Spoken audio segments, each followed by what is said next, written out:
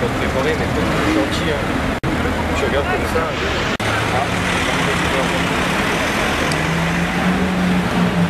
Hein. Ah,